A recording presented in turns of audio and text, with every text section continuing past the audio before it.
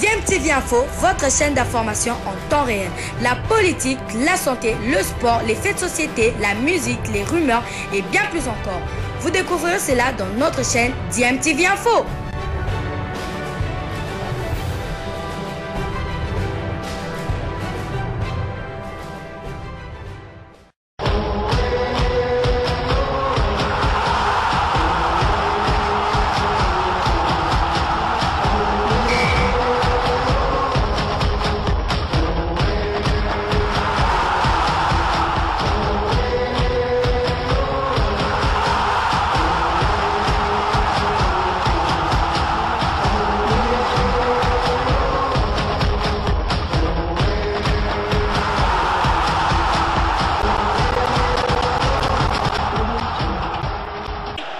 Vous êtes sur DMTV, bonjour euh, ou bonsoir, tout dépend de l'heure à laquelle vous nous suivez. Tout plaisir est pour nous de vous retrouver, mais surtout de savoir que vous êtes nombreux en train de suivre votre chaîne YouTube euh, DMTV. DMTV qui vous propose un tour du côté du ministère du Sport. Vous le savez, finalement, il y a eu de la fumée blanche hier, lundi 12 avril 2021. Le gouvernement Sama Lukonde est connu et les Congolais peuvent euh, dire un ouf de soulagement puisque les échéances sont déjà devant les léopards de la République démocratique du Congo, notamment pour ces éliminatoires de la Coupe du Monde Qatar 2022. Déjà la semaine du 5 au 8 juin, la RDC recevra la Tanzanie ici à domicile dans le cadre de ces éliminatoires dans le groupe J, groupe où la République démocratique du Congo va disputer la première place avec le Madagascar, le Bénin ainsi que la Tanzanie. On attendait un ministre euh, des Sports et beaucoup d'observateurs savaient que l'actuel ministre euh, le ministre sortant, en tout cas Amos Mbayo, n'allait pas être reconduit tant le bilan dans ce ministère est très très largement négatif alors qu'il avait suscité de l'espoir lorsqu'il avait été nommé par le chef de l'État Félix Antoine Tshisekedi Ichilombo.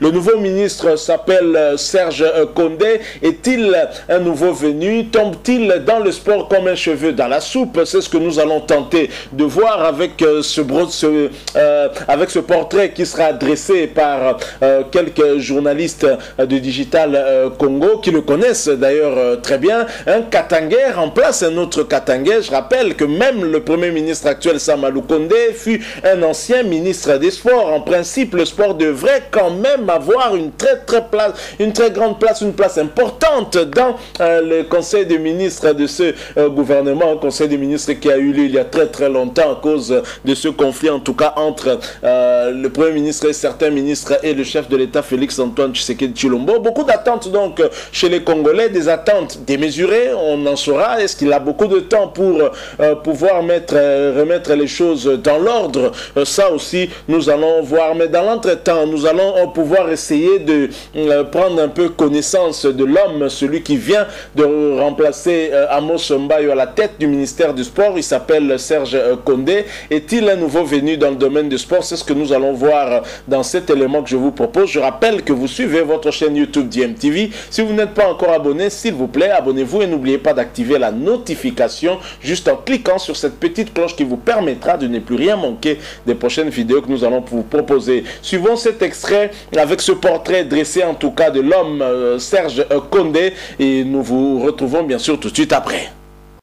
Parce que vous avez entendu parler de la fumée blanche, c'est de Serge Condé, donc, qui va prendre euh, le bureau d'Amos Mbayo d'un moment à l'autre. Alors, mesdames, messieurs, et c'est euh, dans quelques instants déjà, on va développer euh, tous ces titres. D'abord, rapidement, on va vous donner les titres de cette émission Sport euh, de cryptage. Nous sommes lundi 12 avril 2021. Il sera question de la nomination du ministre des Sports, c'est Serge Condé, qui va prendre la place d'Amos Mayo Kitenge. Dans cette émission, on va aussi faire le bilan. C'est l'heure du bilan pour les équipes de l'RDC. Éliminées dans la phase de poule de la Ligue de champions de la CAF, devons nous inquiéter pour ces performances des équipes congolaises? Tentative des réponses dans cette émission. On va aussi se projeter vers l'avenir. Dans cette émission, il sera aussi la question des euh, Congolais de l'étranger puisque euh, ce week-end, ils ont carburé avec euh, notamment Jackson Moulika qui a marqué avec son club, avec aussi les joueurs du Raja, Ben Malangongita et, et Luamba qui évidemment qui ont marqué avec la formation du Raja de, Casablanca. Ils sont déjà qualifiés pour la phase, le quart de finale de cette Coupe de la Confédération. Et dans cette émission, on va aussi parler volleyball puisque Christian Matata a été réélu à la tête de la Fédération de volleyball du Congo. Bienvenue à toutes et à tous.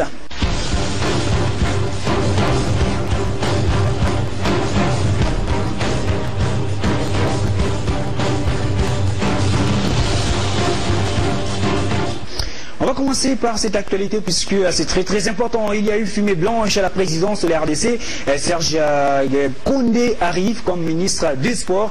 David Ndala, il a fait ses premiers pas au niveau de la province du Haut-Katanga en tant que commissaire des sports parce que là il n'est pas question hein, du ministère des Sports.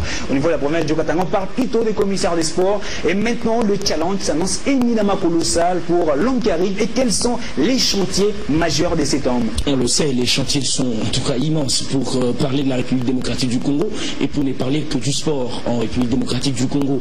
Euh, vous l'avez dit, Serge Condé, ancien ministre ou commissaire euh, du côté de, de Joe Katumba, il est spécialiste en management et il est également spécialiste en gestion d'affaires. Vous imaginez ce profil, moi il me va bien, actuellement député national, élu de Sakanya. Sakanya, on est un peu dans la profondeur ou à l'intérieur de la province du Haut-Katanga.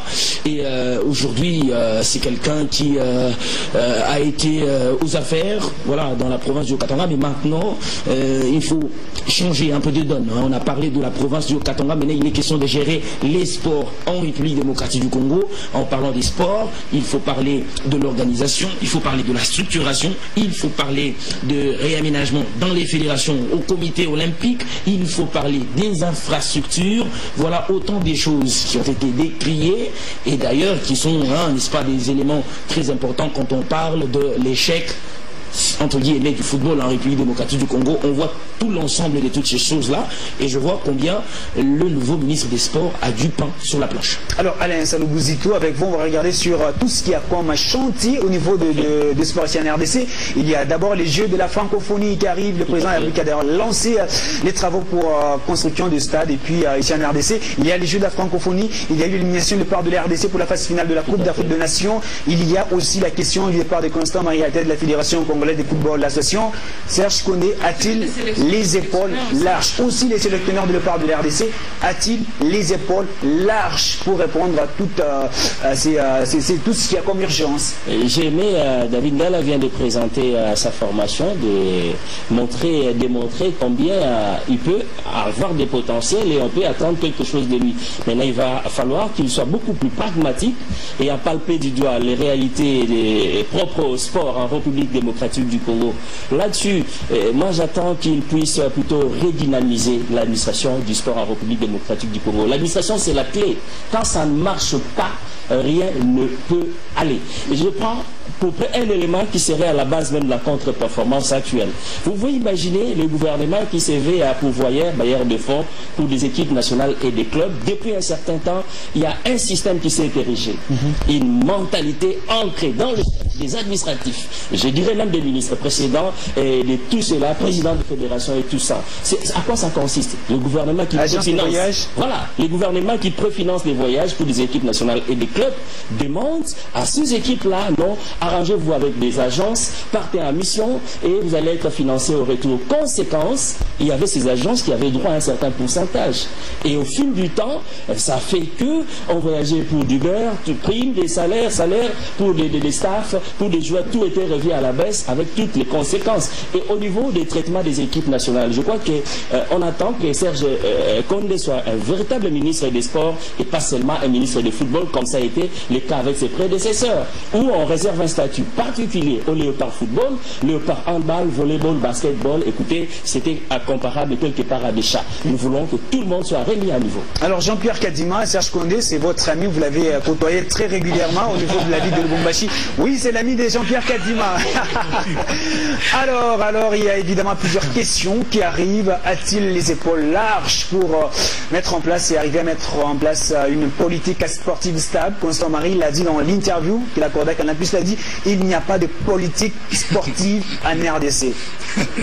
bon, avoir des épaules larges, euh, bon, quand on regarde les portraits euh, présentés succinctement par euh, David Ndala, je pense qu'il est. Moi, j'ai eu à deux, trois reprises, j'ai côtoyé à il était commissaire, commissaire au sport.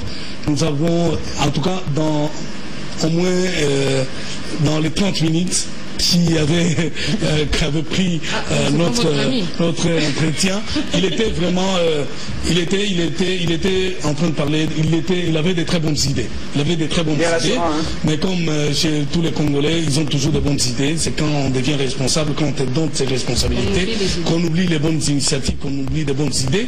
Et je pense quand même que Serge Condé, tout, durant tout son mandat à Lubumbashi comme commissaire au sport, il y a eu quand même des choses comme pour euh, un peu répondre un tout petit peu aux soucis d'Alain Salou en parlant justement de ces statuts particuliers qu'on réserve au football. Lui était un touche-à-tout, un peu comme euh, Denis Kambaye. À un moment, on a vu des galas de catch organisés ici sous son mandat. Serge Condé, il a fait la même chose dans les Katanga. Mais maintenant, c'est au niveau des responsabilités nationales. C'est ça, c'est des responsabilités nationales. Il faut les gérer. Parce que vous avez bien réussi à Sakanya, vous avez été élu, par exemple. Il ne faut pas oublier qu'il y a un coin perdu dans, dans ce pays qui s'appelle Bowende, qui s'appelle Nandanjika, qui s'appelle je ne sais pas quoi que ce soit.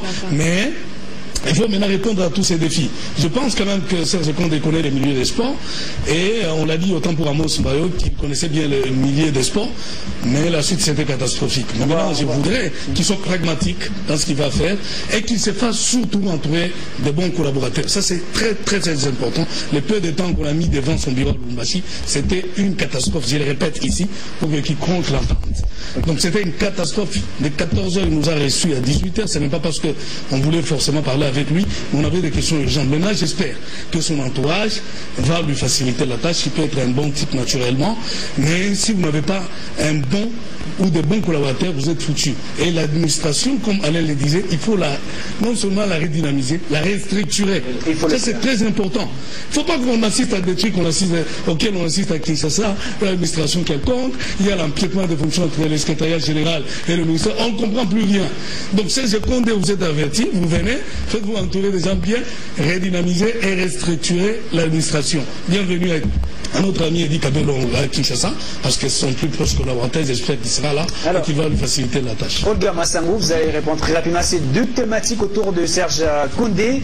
Doit-il marcher sur ce projet laissé par Amos Mayo parce que David Nala avait assisté à cette rencontre? Eh bien, il y avait à ce point de presse d'Amos Mayo qui avait présenté le programme de 200 jours au niveau du ministère des Sports, construction de stade. Doit-il tout raser et amener un nouveau projet parce que là, on est dans la maladie congolaise? Mais il va pas y arriver. Il va pas y arriver. Pourquoi?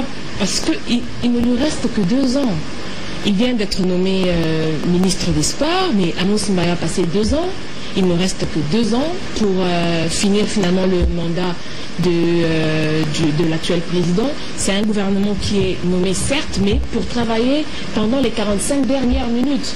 Donc, il, a, euh, il faudrait qu'il puisse se focaliser sur l'essentiel. Je crois qu'il faudrait qu'il puisse dresser une liste des priorités.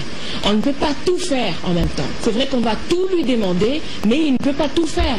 Mais je crois qu'en en ayant déjà géré quand même euh, une province, il va essayer de s'adapter au niveau national, parce que la province et le niveau national c'est compliqué. En province, vous gérez les ligues, mais au niveau national, ça, ça devient des fédérations que vous devez gérer. Or, les fédérations ici ont d'énormes problèmes. Il y a des disciplines qui se meurent aujourd'hui, dont on ne parle même plus. Donc il a un travail énorme. Et pour euh, parler de... Qu'est-ce que vous avez d'Amos projet- Mayo je, Vous son passage au ministère des Sports rapidement? Oui, son passage, parce qu'il faut partir de ça comme base pour essayer un peu euh, de travailler pour mieux faire. Parce qu'il faut tirer les leçons du passé pour éviter euh, de tomber dans les mêmes pièges pour l'avenir. Curieusement, moi, je, je n'ai rien retenu. Je suis désolée, je n'ai rien retenu du passage de Amos Mbaye. C'est vrai qu'il y a eu euh, cette histoire de pandémie qui a malmené presque tout le monde. Après, euh, c'est euh, le gouvernement qui est arrivé pour voilà, donner un coup de main pour que le championnat national puisse se jouer. Les léopards de la RDC, c'était un fiasco. Les clubs de la République démocratique du Congo, c'était un fiasco. On, a, on, a, on a toujours dit que la défaite est orpheline, mais la victoire a mille pères. Mais c'est vrai que quand il y a une défaite, quand il y a un échec, il faut savoir l'assumer. Donc il faut euh, voilà, savoir prendre toutes ses responsabilités. Et le ministre qui arrive, je crois qu'il ne sert à rien de reprendre tout à zéro. Parce que tout n'a pas été mauvais.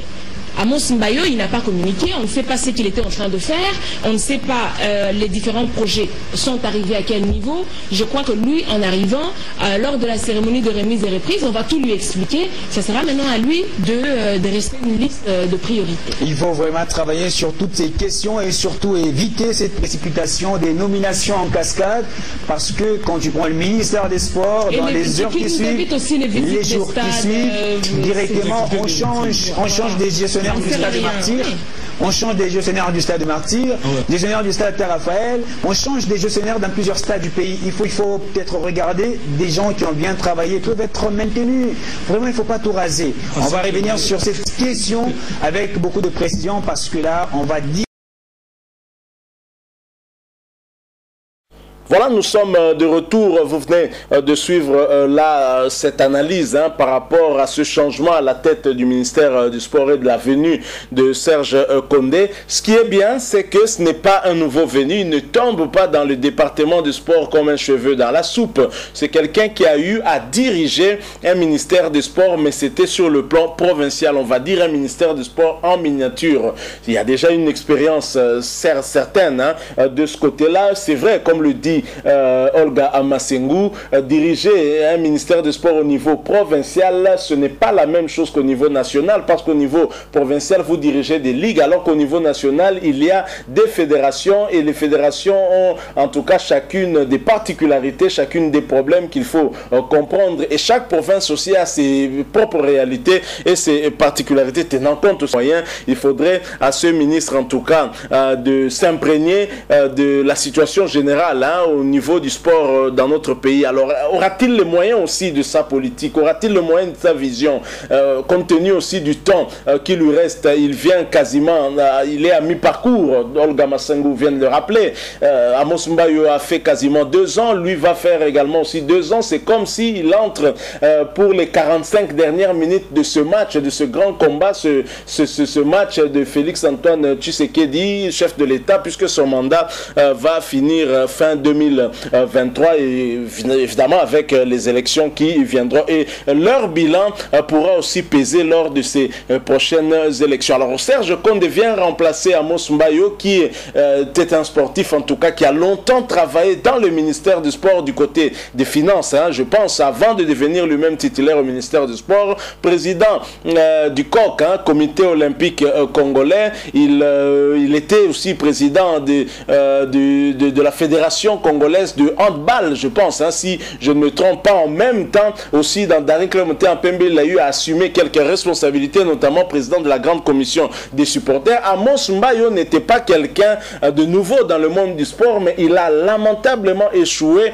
euh, lors de son euh, mandat. Et c'est d'ailleurs pendant son mandat que l'équipe nationale n'a pas réussi à se qualifier pour cette Cannes Cameroun 2021. Il y a eu à boire et à manger, notamment ce problème de primes non résolu bien avant le départ des Léopards pour euh, Franceville. C'est aux alentours de 19h le jour du départ que euh, ce problème a été résolu. Ce n'est pas normal. Amos Mbaye en tant que sportif sait que ça, euh, ce n'est pas normal et ça peut créer des problèmes et ça nous a créé des problèmes sur, dans des compétitions interclubs. Alors que Vita ou Mazembe se retrouvait toujours au moins en demi-finale chaque saison, on se retrouve aujourd'hui éliminé en phase de groupe et dès la cinquième journée, le bilan est catastrophique.